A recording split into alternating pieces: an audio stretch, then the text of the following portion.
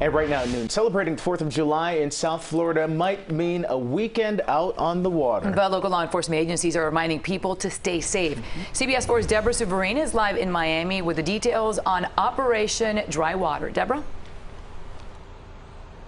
Yeah, that's right, Maribel and Candice. You know, this is all about making sure people are, are, safe. Law enforcement officials will be out in higher numbers this weekend, and it's something they do every 4th of July, right, to make sure people are safe.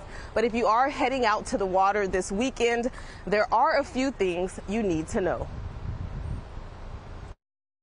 alcohol and boating do not mix, and we've seen a lot of tragedies because of that. Law enforcement gearing up for a busy 4th of July weekend, and they want to remind anyone heading out on the water to be prepared. It's always very important to have two forms of communication. Make sure your cell phones are fully charged or you have a charger for your cell phone. But there's also the Maritime Radio Channel 16. That channel you can reach any agency on if you have an emergency out in the water. Coast Guard, FWC, and several partner agencies announced Operation Dry Water on Thursday, which will include a regulated navigational area in Key Biscayne on July 4th. From 7 p.m.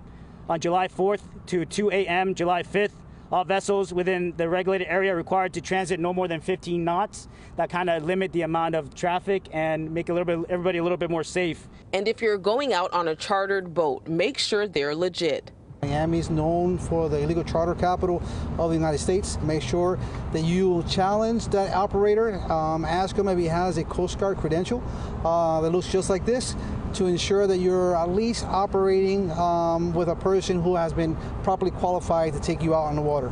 And officials say you should also have all of your safety equipment on board. That includes life vest, a throwable, a fire extinguisher, flares, a whistle, or any other device that produces sound.